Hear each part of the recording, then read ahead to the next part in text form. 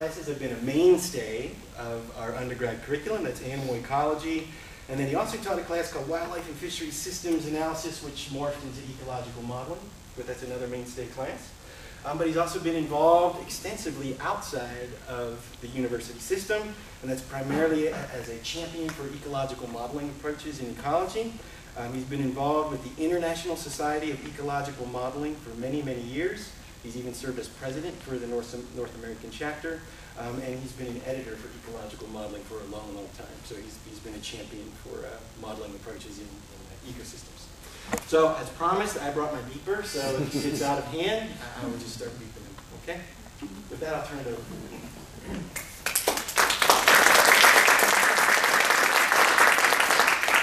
Thank you very much. That was the end, right? Well, so, just keep going.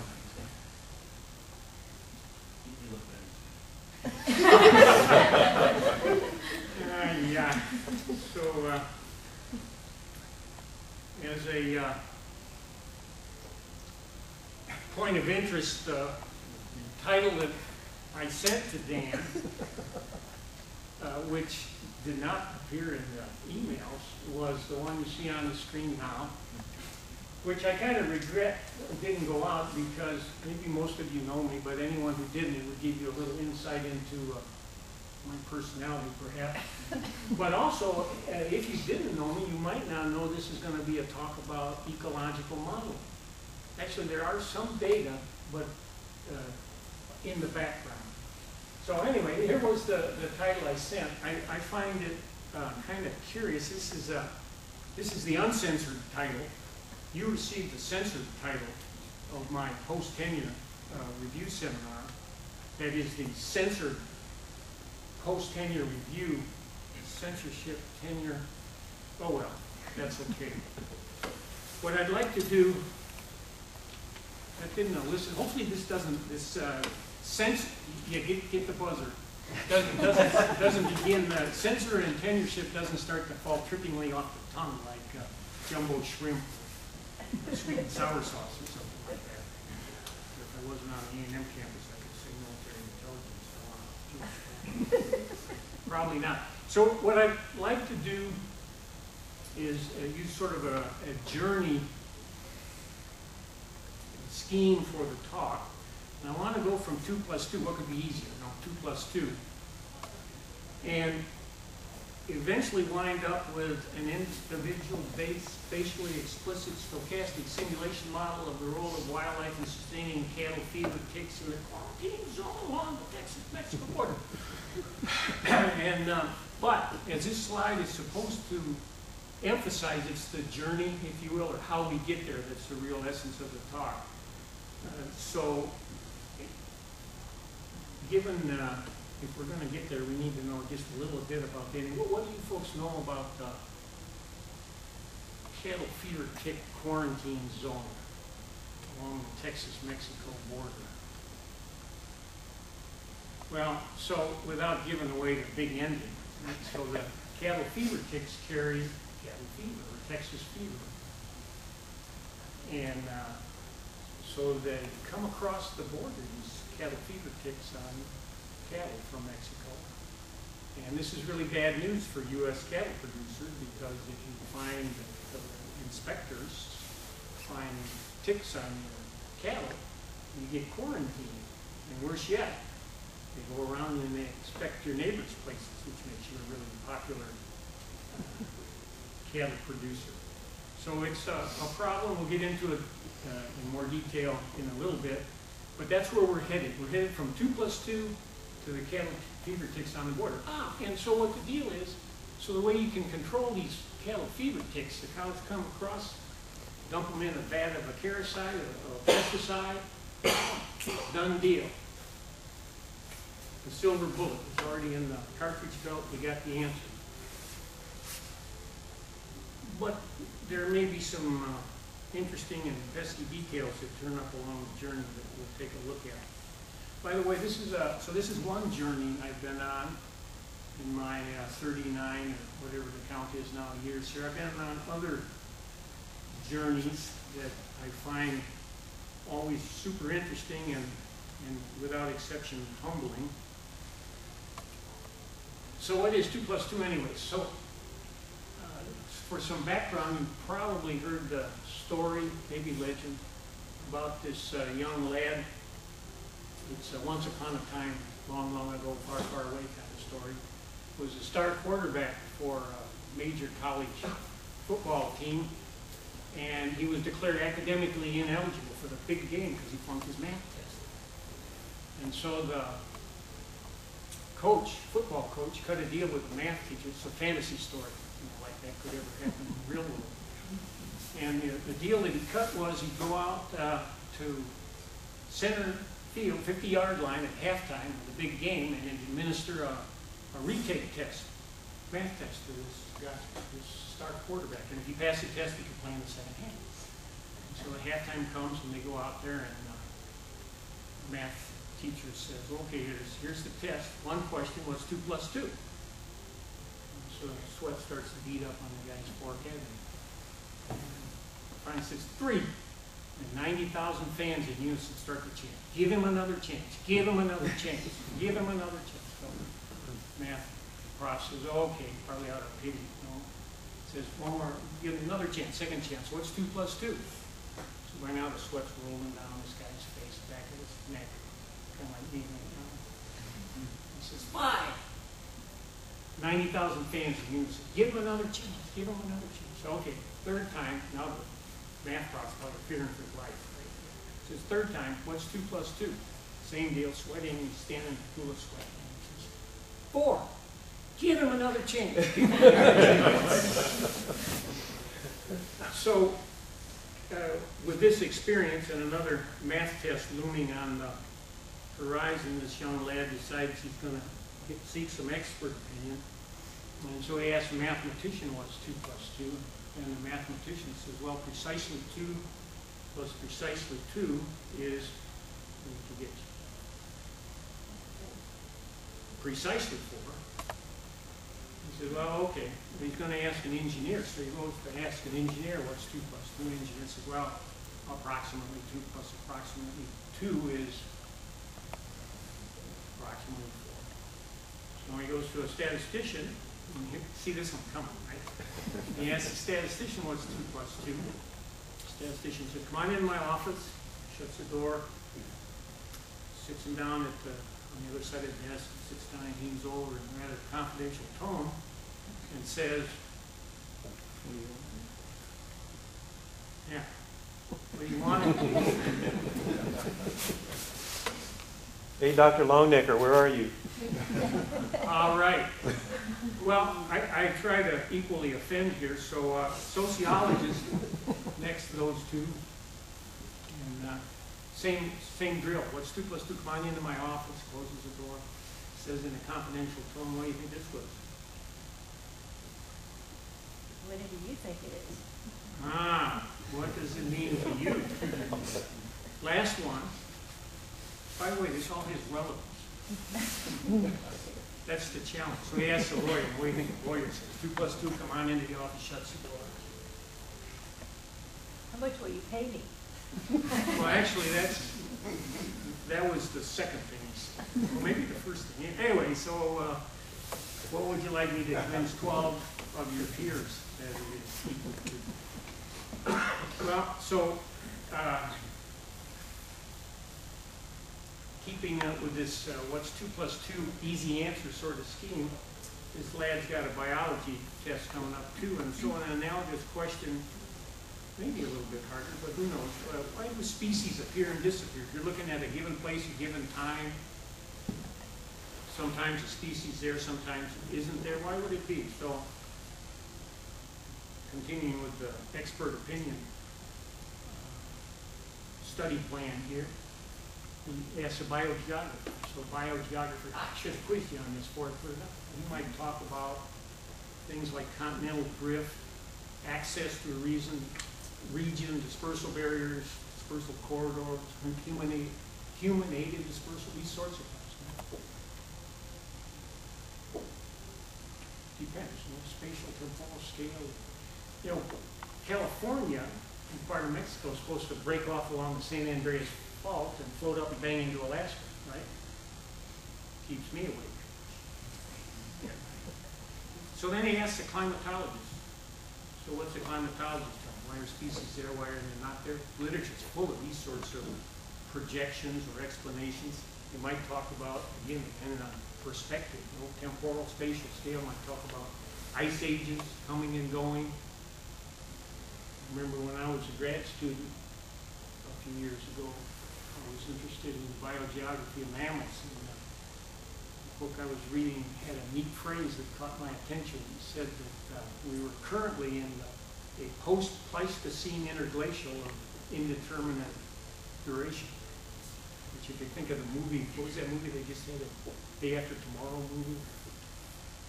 Interesting. Also might talk about what's NOAA, what's, what's NAO? North Atlantic Oscillation, ENSO, El Nino, Southern Oscillation. They said NOAA, there was a fellow that gave a talk down uh, south in front of a group of folks who all know, knew what NOAA is. What's NOAA?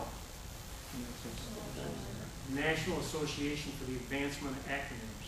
Talks about it all the time. So, too hot, too cold, too wet, too dry, maybe just right, the climate. So we draw these climate uh, graphs of the potential distribution of species. Maybe ask a landscape ecologist, what might he or she tell this lad? Well, topography, favorable or unfavorable landscape mosaic, appropriate mix of different landscape types, maybe amount of edge, these sorts of things. Could ask a community ecologist, ah, so here, you guys know the answer for this, so what's a community ecologist going to talk about? Why is a species here, why is it not here?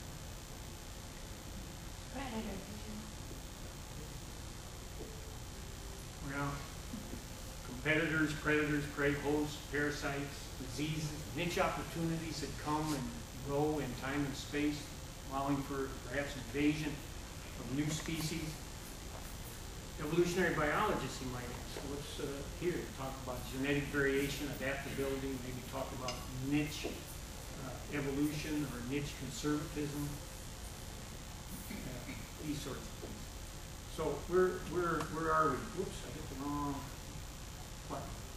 So we are here. Uh, So you don't get uh, too bored and know that there's an end. I've got a little, uh, six out of forty-three. Slides here so you can keep track. But we're, we're headed towards this individual-based model. And so, have I said anything relevant to this problem yet or not? Dangerous question to ask, let's leave it as a rhetorical one. but This is the, the challenge to, you know, you can go Google or go to Wikipedia, or you can get tons and tons of facts. Putting them together is the, is the clue. So continuing on with this, so why, sparing Dan's beeper there, uh, do cattle fever ticks appear and disappear anyway. So if this poor lad took an entomology class or an acarology class, know, tickology, you might don't know why you do that, but you might be interested in uh, how these two particular species, tick species, uh, occur and disappear down along the area of interest along the Texas-Mexico border. And so again, if you ask a biogeographer, he might say, well, you know, these ticks are not native to the Americas. Uh, So maybe it's human-aided dispersal. And uh, or uh, the other new name that I have a harder time pronouncing, I'll skip. Right, what is it, Rhipicephalus? Very good. Uh, Annulatus is native to southern Russia, the Middle East, the Mediterranean basin. The other species, Microplus, is native to the Indian subcontinent. So chances are they came over with human-aided dispersal. The Spaniards came over with cattle-carrying ticks, probably in the fifteen hundreds in Mexico and Cuba, and then just through human movement, settlement, and and trade, they spread through uh, the southern U.S. and California. You ask a climatologist why these ticks are where they are, and you get a typical uh, answer about the distribution being limited by climate. You can't go too far north, it gets too cold. You can't go too far west in Texas, you get the too dry area, the southern U.S. And in terms of the particular distribution of these two species, the microplus is limited to areas of relatively higher rainfall and humidity along the Gulf Coast, prairies, and South Texas plains. The other species you find in drier inland areas, in the plains, Texas plains, and the Edwards Plateau. There's a narrow little strip where they're sympatric, they're along the Texas-Mexico border. And so why? Well, because the climate's just right. The climatologist. So landscape ecologists would talk about the distribution of these two species being in landscapes that are similar to their native ranges in southern Russia, Middle East, Mediterranean basin, but would most likely refer to the more recent history of land use uh, changes in, in South Texas, you know, in, in terms of uh, brush invasion due to overgrazing. So if you read some of the uh, descriptions of that south of San Antonio on down across the river, the border, uh, descriptions of the Spanish conquistadors when they came over. They would write, and early European, other European settlers, they would write about the vast open grasslands with really, really thick riparian vegetation along the rivers, big rivers. Not so anymore. You ask a community ecologist, print got small and there are more words, right? Community ecologists more, more verbose, but uh, might talk about changes in the distribution. We're still talking about ticks, right? Why are the cattle fever ticks appearing and disappearing? Talk about distribution and abundance of, of hosts, native hosts. Ah, these are big ticks, right? They have to get on big animals, like a cow or a deer, for example, or maybe a nilgai, antelope. We talked about uh, distribution and abundance of native and exotic wildlife that might serve as hosts, increased host diversity, might have provided new opportunities for dispersal and maintenance of the cattle fever ticks. White-tailed deer is the main host, the main wildlife host. So I might talk about what happened to whitetails down in, well, much of the US, I suppose, but the southern part particularly. So they were pretty abundant when the European settlers came, but then there was a marked decrease in population levels due to European, uh, due to harvest for meat and hides. And so I'm squinting to read my notes, I to turn around and look my back again. Uh, And my memory so poor, I couldn't remember, was the late eighteen hundreds anyway. Were uh, reduced greatly, but then came back later on, with abundance of primary native host, white-tailed deer. Might talk about nilgai antelope, which is a bovine, by the antelope, uh, as an exotic species of particular interest because they're pretty big bodied, they're about a half a cow size, and they're very widely ranging, they're big activity ranges, and they can carry a lot of ticks. They're also abundant and populations apparently increasing quite a bit down in the area where these two tick species are sympatric along the border. Uh, Right, and so Parks and Wildlife in nineteen ninety-six estimated exotic species in Texas to be about seventy-six different species ninety thousand individuals. He estimated two-thirds of these were confined behind high fences, but probably a third were free roaming. Also estimated feral hogs. We'll come back to feral hogs in just a bit with regard to these uh, ticks. Uh, Two to four million, note the precision of the estimate in twenty eleven. And they found, have found seven non-cattle fever tick species of exotic, exotic, exotic ticks. Pronounce that for me. Exotic, that's correct. Very good. That have been found on feral hogs.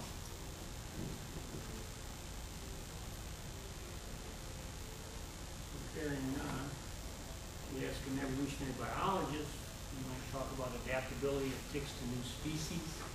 So if there are a lot of hoof stock, relatively large body antelope and others that may be good hosts for cattle fever ticks, we really don't know. Evolutionary biologists might also talk about the adaptability of C. microplu- uh, microplus, in particular Boophilus microplus, to new wildlife hosts in Brazil and in New Caledonia. We've been documented the cattle fever ticks around there. Where's New Caledonia? Uh -huh. I know.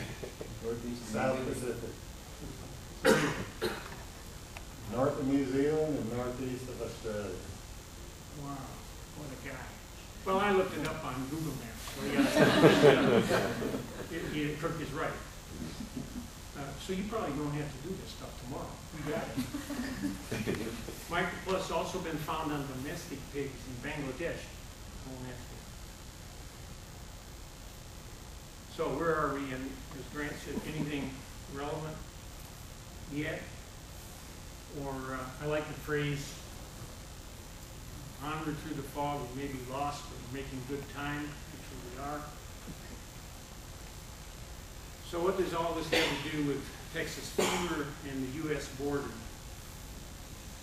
Texas fever, also known as bovine babesiosis, pyroplasmosis, and red water is caused by tick-borne protozoan, Babesia, the two species that are found commonly on cattle, the Gemini and Bovis. And way back at the turn of the century, ah, interesting, way back at the turn of the century, the other one, nineteen oh six, uh, Texas fever became regulated, a regulated animal disease in the U.S. through the efforts of the Cattle Fever Tick Eradication Program. Keeping the U.S. cattle fever tick free is a critical animal health issue that affects the economic stability of wildlife, uh, uh, livestock enterprises, and you could argue wildlife enterprises now as well. But cattle fever tick invasions from Mexico remain a constant threat. Cattle come across the border with ticks. And the role of wildlife in sustaining cattle tick invasions, once cattle fever ticks have invaded, you can take out the silver bullet and you dip all the cattle, but what's the role of wildlife that may have become infested with these ticks and maintaining the ticks north of the border? So here's a series of maps on the far left. You see the historical distribution of these ticks throughout the southeastern, and up the Atlantic seaboard of the U.S. and then out in California. The little red area, area, area that you see there is the quarantine zone. That's been established by the, by the USDA. This is, uh, the middle map shows the quarantine zone, which is the border. And an area of particular interest is the Tamaulipan Biotic Province, which is a pretty diverse, ecologically diverse uh, chunk of land, but from fairly open uh, savanna to fairly thick brush country. The map on the far right labels some of the ecological regions in Texas relative to the distribution of these two species, and so you can see this coastal uh, prairies and South Texas plains microplus, if can squint real hard, this microplus species in the wetter areas, and then in the interior portions of the plains, South Texas plains and up into the Angeles Plateau and the other species annulus, and right there is a area, sympatric area, area of uh, sympathy tick species. So here's uh, a map that I can't even quite squint at to read, but here are cattle fever tick invasions. This is nineteen fifty-nine and this is two thousand and twelve, every year in between data collected, kept by the USDA. The red bars is the free zone, supposedly, cattle tick free zone, not free all the time, as you can see. And the blue bars are the invasions into the permanent quarantine zone. So the silver bullet is, uh, maybe not doing quite as good a job as one might hope.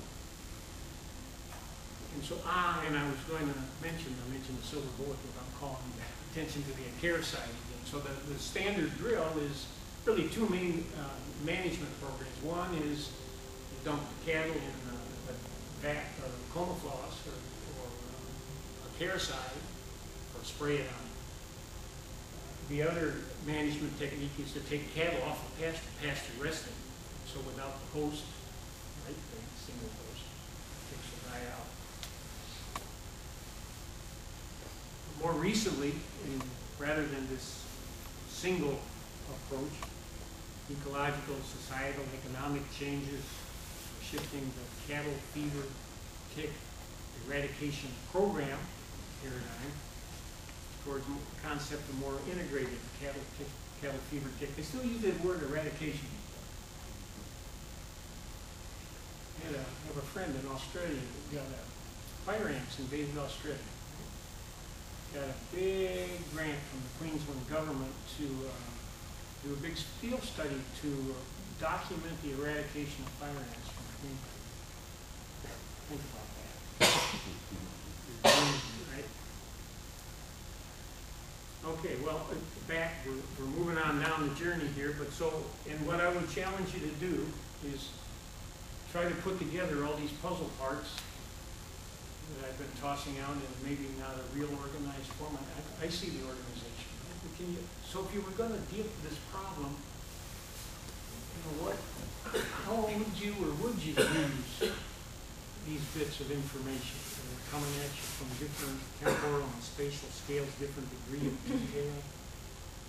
How, how, how might one put that together? Well, here's this scheme uh, that I didn't go over on the last slide very much, and, but this is, uh, the new paradigm cattle fever tick eradication program, integrated eradication strategies, the center oval there, evidence-based statutes and holistic policy in the upper right, social awareness and extension, interdisciplinary research, ecosystem services, risks, opportunities. Wow, this sounds really cool.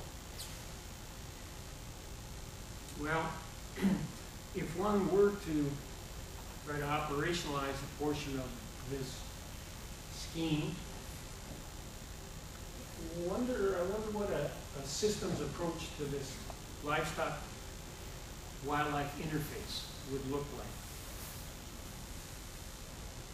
And so, just a bit about the systems approach to problem solving, development of dynamic simulation models, and so the point of this slide is there is a theory or basic concepts involved in developing a system simulation model. So down the middle there, modeling theory so-called, started with a question and folks split this up into different number of steps. I like to think about it forming a conceptual model, quantifying that model, writing equations or logical statements that operationalize that conceptual model, then evaluating the usefulness of the model and then applying simulate the scenarios of interest. Along the right-hand side of it, which is modeling practice, the idea is that this is not a one and done trip through uh, where you develop a conceptual model, quantify it, evaluate it, run some scenarios, and you're done. Rather, it's a bootstrapping, it's an iterative sort of process where one moves through re conceptualizes the system, re-quantify, estimate parameters parameters anew as you're going through the process. And the idea on the far left there is it's really, a, it's, while it may be somewhat apparently, at least sophisticated mathematically in terms of use of computers and all that, a simple process. Conceptual diagram the system, quantify, calculate, check, do some calculations, go back and recheck, re-quantify, and when you think you've got the arithmetic in a useful form, project scenarios. Just a bit more on the systems approach and how modeling would fit in with, what's that four-letter word? Data, data, well, it would fit in with the data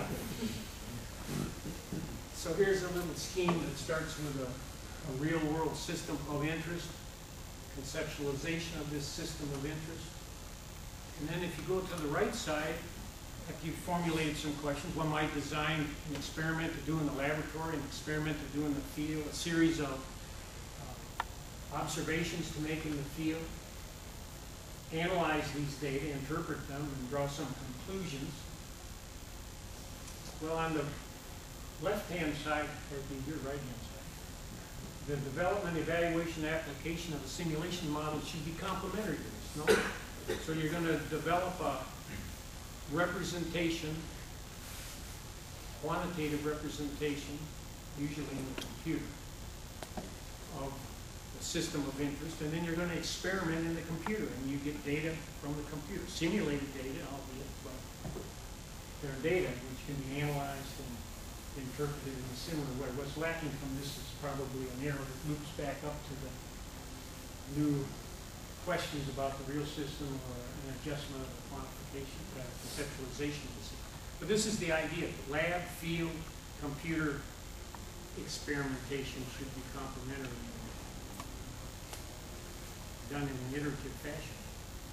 So just a little bit about some field data that are available, or ideas we have, knowledge we have about the system of interest based on field data. So here's the life cycle of a one-host tick, typical one-host tick, as opposed to a three-host. Know, are there two host tick? Guess probably. Lone Star tick, black-legged tick, which Lyme disease, culprit, or three-host tick.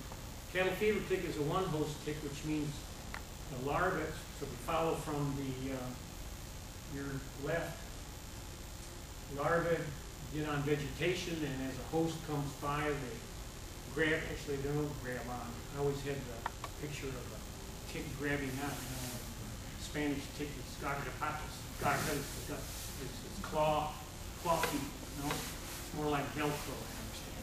Anyways, the host passed by, and larvae get on the host, and uh, get a blood meal, and turn into a nymph, get a second blood meal from the same host, turn into an adult, get a third blood meal from the same host, and the engorged ticks fall off. Engorged females will lay eggs in the vegetation, which hatch into larvae and complete the cycle.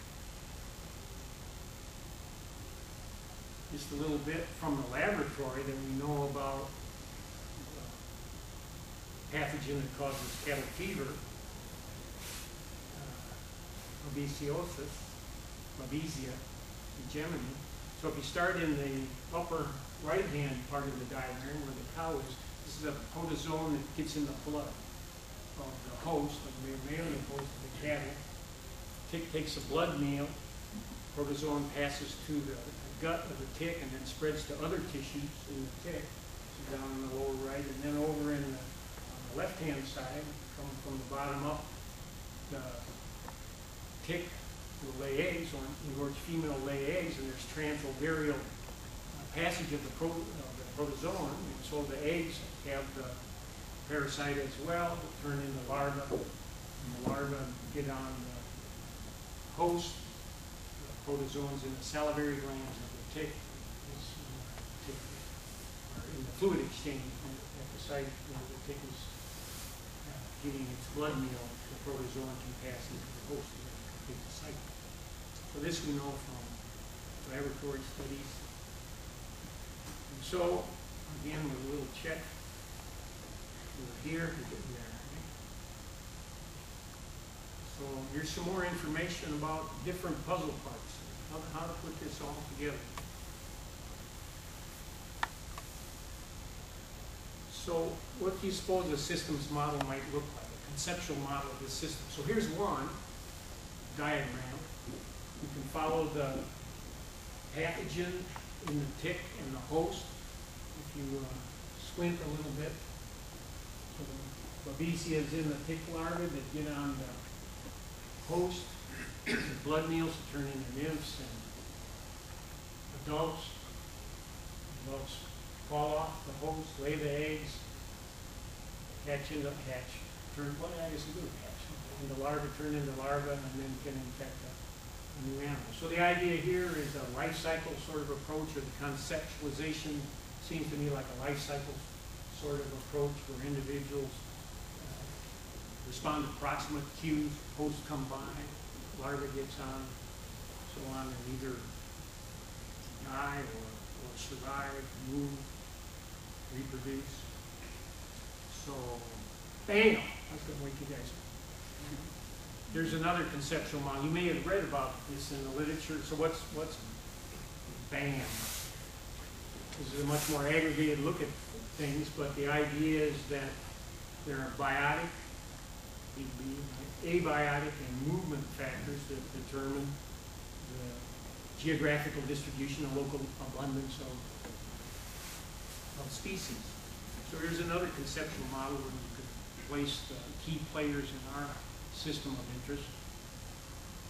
that, uh, And and think about their distribution and abundance as a function of the biotic, abiotic, and and movement factors. So here's a third conceptual model that's kind of intermediate between the, the BAM model and the first one we looked at, where you, you might consider climatic factors and landscape factors affecting this vector-host interaction.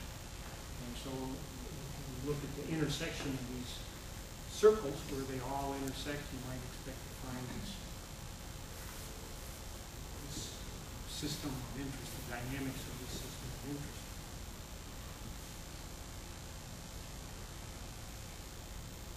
So, luckily I have just enough time to tell a story.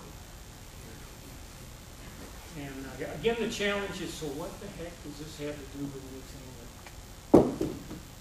of relevance to where we're headed to this model?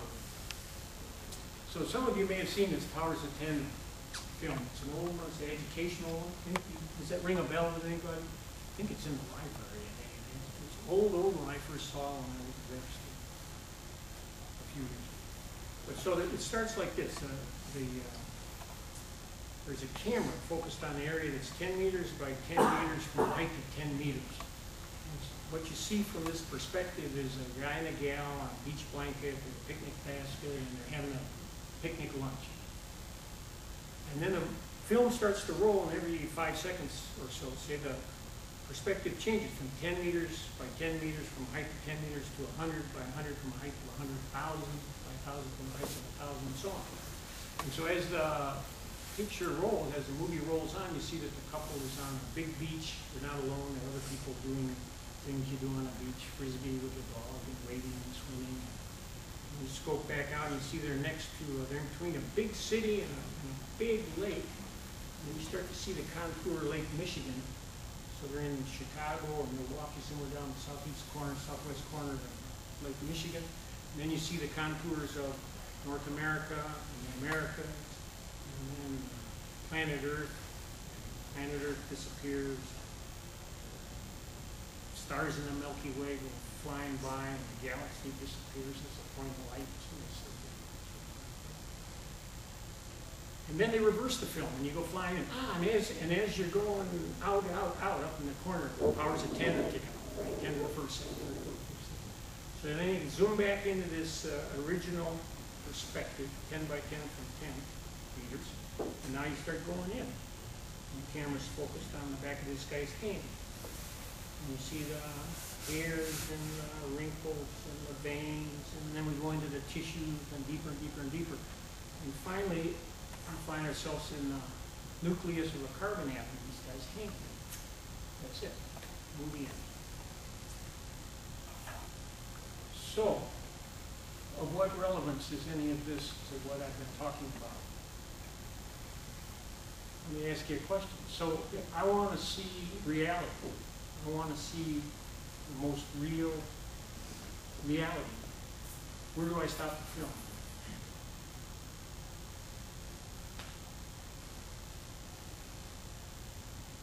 It's going to be another retake at halftime. That's a good one. Yeah, right.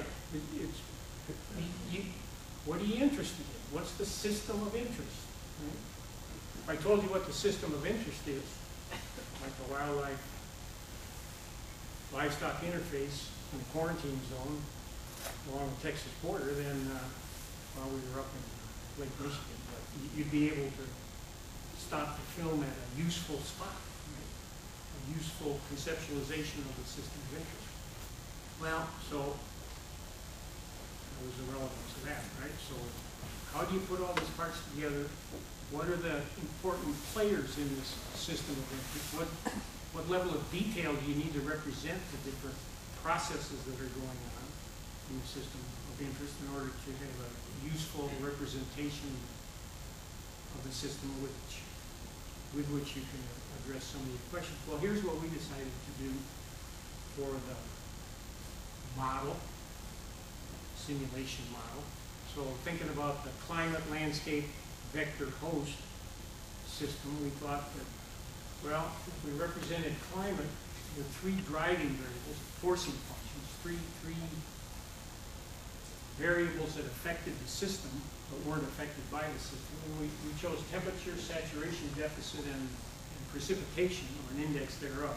But this could force the dynamics of the tick life cycle in a, in a reasonable way. And we thought that in terms of the detail needed to represent the vector, the tick, and the host, the mammalian host, we certainly needed to represent the stages in the tick life cycle. In the environment are eggs, and HS host seeking. These are larvae that are, that need, need to get on a host to get their first blood meal before they die. And over on the host side, the larvae could get on three different hosts of interest to us, domestic cattle, white-tailed deer as the native, primary native host, and then current interest in nilgai as a alternate host for the cattle feeding days. And the adults fall off and gorge the adults back into the environment and lay eggs. Interestingly, in time permitting, we could come back to this, but, so the, the uh, fecundity of these little rascals, when they fall off the different hosts, is different. Right, so it depends if you get your blood meal from a cow or a deer, I'm not sure there's info on the meal yet, but we might come back to that a little later, time permitting. So, in terms of the landscape, we thought at the appropriate scale of resolution, we might represent landscape heterogeneity as grass, brush, and mixed brush habitats. Also, at least one of the prime players, the cattle, are limited by human alteration of landscape in addition to the grass brush, mixed brush mosaic, there are fences that cattle can't through. And so cattle, cattle like the grass, they can't go through the fences, at least aren't supposed to. Nilgai are, as I mentioned earlier, are, are They're- they eat grass, they like grass. They also use the brush, the uh, mixed brush. And, uh, deer prefer the brush and mixed brush, but they'll get out into the the pastures, open land. And then, so here's an overlap of the movement or habitat use of the three different hosts again. Cattle and nilgai that are grazers, preferably spending time in the open. And deer that are using the brush to get out into the open and, and zones of overlap. And so here's the, the model that conceptual model that we suppose might be an interesting one to address this question.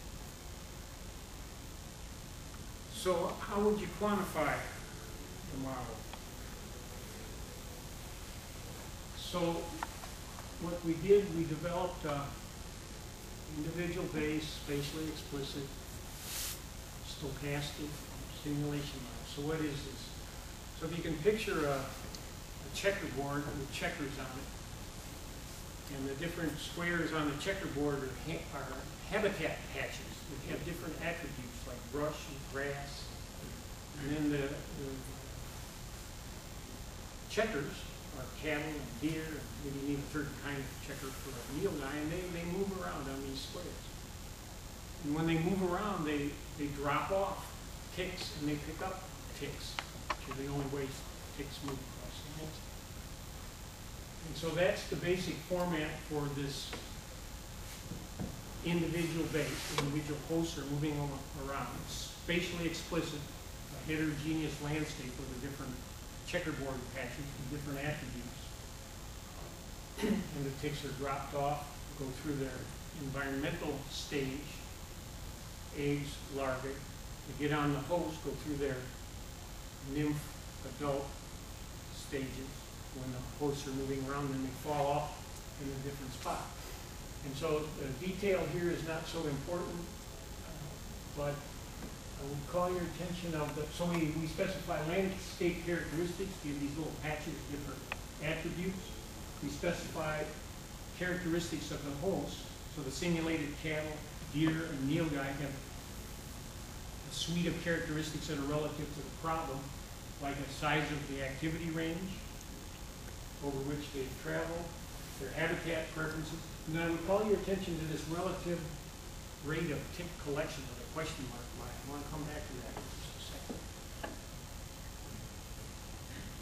And so this is initialization of the key landscape characteristics and host community characteristics. Then we input those driving variables that I mentioned earlier, temperature, precip, saturation deficit.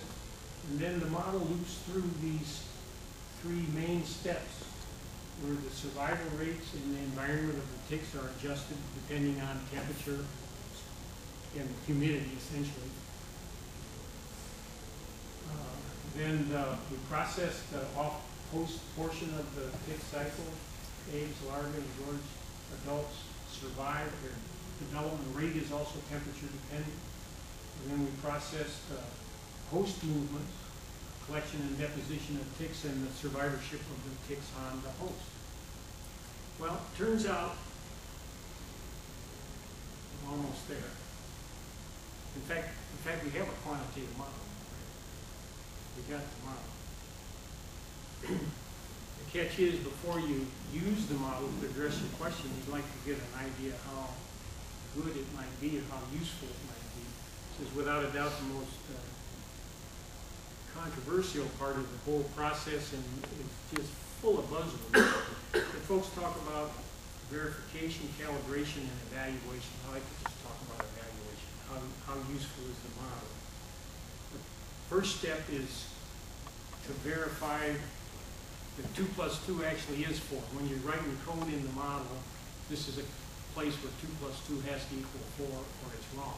It's a very tedious task but necessary.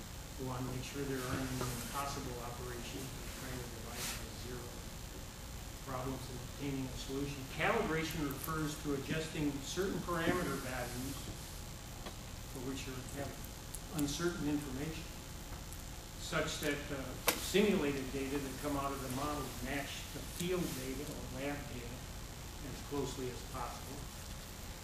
And then validation usually refers to comparing the simulated data to the field data that are available or data from real systems that are available that are independent of those that be used to construct the model. So folks use a lot of goodness of, goodness of fit tests on models, a la stat sorts of, statistical sorts of models. But more and more with these individual-based models that tend to be quite complex, the, an idea of uh, pattern-oriented modeling is becoming more and more accepted as a way of evaluating these models. The idea there is that if you can get a model that's fairly complex to generate one pattern of interest, that's fine in the system. You can get it to generate a second pattern that's not directly correlated to the first. Now, this is much harder. What are the chances that that's happening by chance? If you can hit a third pattern, then chances are that the model is doing something right in terms of the interactions you put into. What I want to concentrate on, we're getting real close to the end. I got uh, Noble loaning me his watch, so I'm keeping track. Dan, Dan, uh, got it really long, he was just so in the introduction, big time. What I'd like to do is concentrate on model calibration. You remember the, um, rate of tick collection parameter that I mentioned to you? Turns out we've got, uh, I hesitate to say really good information, but at least there's published information on all the other parameters in the model. The survivorship of the, the eggs and the larvae and the engorged females in the environment, the survivorship of larvae, nymphs, and adults on the host, uh, some information on habitat use of the host. But one thing we don't have any information on is the rate at which the cattle pick up the ticks. And so the problem is, you've got this humongous number of host-seeking larvae in the environment. So who can estimate that? But the estimates run in the hundreds of thousands per hectare. And then these ticks, these larvae have to get on hosts. Only a tiny, tiny fraction of them can get on hosts.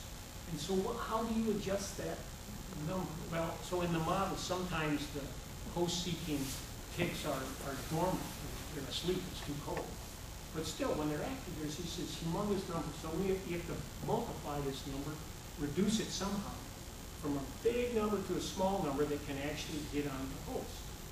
And so that's what this BHFR, base host finding rate, for lack of a better acronym, we have. But it's really the only parameter currently in the model for which we just don't have a clue.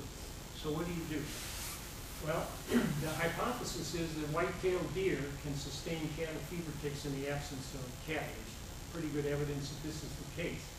And so what we did was to try different values for this calibration factor. It's a factor you multiply these host-seeking larvae by to reduce this huge number to a small number. And then run simulations with only white-tailed deer in the model. And see, here are, here are estimates of maximum and minimum number of host-seeking larvae over there. Who really knows, but there are field data on that with huge amount of variability. We know a little more about the number of adult ticks on deer. Here's maximum number of adult ticks on a deer. And so we keep reducing this number. Well, surprise, surprise, the smaller the number, the fewer ticks you have, right? But you get down here to a point where, according to the model anyways, white-tailed deer can't sustain the ticks all by themselves. So we're saying that doesn't, we're hypothesizing that that's not the case. So what we do then is pick one of these numbers down towards the reasonable end of a number of adults on and run a simulation. Here's a simulation that's run over the peaks of years, one, two, three, four, about five years, with the larvae in the field on the left and the adult ticks on deer, only deer in the system on the right. And so this is in the realm of the reasonable, might be a little bit lower, but it's, it's not too bad. So far, so good, you might say. Then the problem, and this is as far as we've gotten on the journey, this one. Then you put the cattle back in the simulated system and run again with these adjustment factors, even including the one that we didn't like because it was too small for deer alone to sustain the ticks, you get these humongous number of ticks on the host. I mean, they suck them dry. Shriveled up cow. And So, we, we've got an idea of, so something's missing? And we've got an idea what, what that is. Uh, If I fail this defense, uh, maybe on my second try, I can talk about that. but- So anyway, on the journey, we're, we're almost there. What I did want to do is show, uh, although the model's not quite ready for prime time yet, the use of the model. So this is kind of small, but what we probably will do, wind up doing is carrying forth the analysis of different potential management scenarios in parallel with different versions of the model that have different, uh, uh, different values of this parameter, this uh, calibration parameter that we have to guess at. So you, you, what we've done here is to demonstrate the use of the model, it's simulating four management strategies. One's uh, removing cattle from tick-infested pastures for 12 months. This is the pasture resting. Uh, second is treating cattle with acaricides every two weeks for 12 months. The third is treating cattle with acaricides every two weeks for nine months. And then finally, treating white-tailed deer continuously, which is a little awkward, but they have these uh, four posters they call with with deer feed in them and, uh, rollers on the posts impregnated with acaricide, so the deer sticks his head through, gets dosed with acaricide. So we simulated those uh, four policies, and so these are all results not paying attention to the details yet, but the general form, what's interesting is the, the different versions of the model with the different calibration parameters. You get about the same result, you know? You get a little more spread in the policies here. The other thing you note, that no matter what you do, you can't eliminate the ticks from the wildlife, is in a couple of years, you got uh, infestation. So, like I said, not to pay any attention to these particular results yet.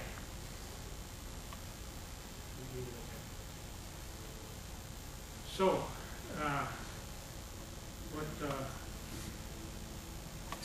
thank you, uh, is the take-home message anyways? Well, I guess state the obvious to enlightened group here, there is no silver bullet. How often do we look for a silver bullet? Dump the little buggers in a of kerosene, seal it, done.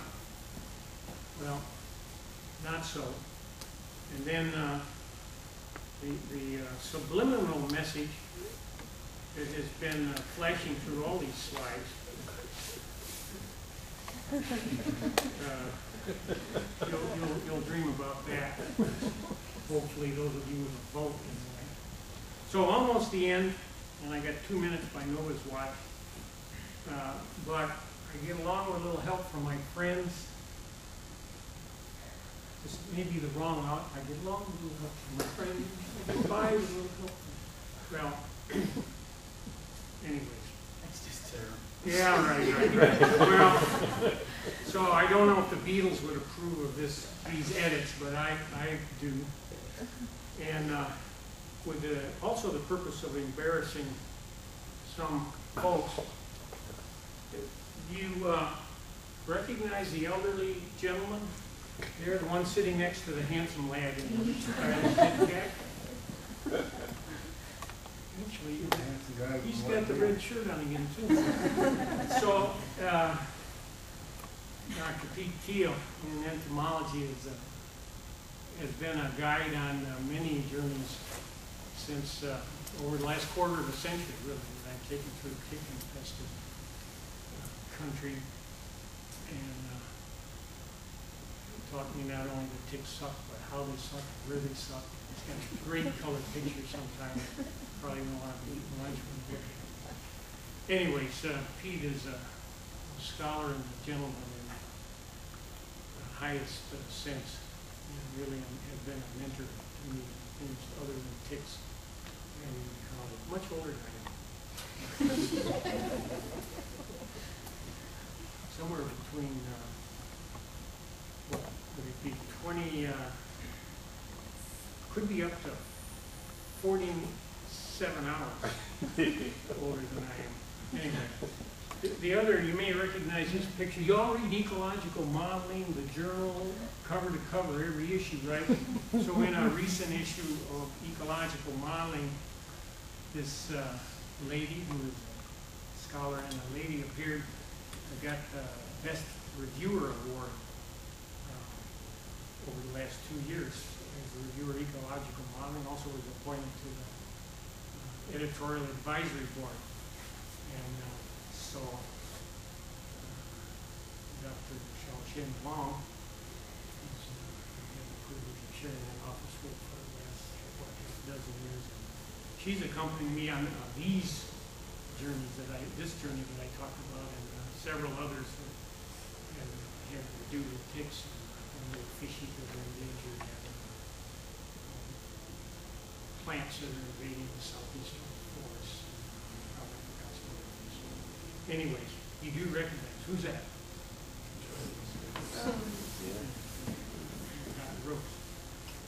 Okay, so, uh, Deanne will okay a few postscripts, which, uh, believe it or not, I lost it, but I had a bumper sticker that I had this. You, you recognize these, uh, what's that equation? Kirk's got it for sure, and Masami's got it for sure, probably some of the others. Well, anyway, so, so if you rearrange the algebra a little bit, this, the, the equilibrium condition for the Lotka-Volterra competition equation, there was a bumper sticker, wasn't crazy enough to put it on the pickup truck. Uh, and the others you can, uh, can read. silly. Thank you.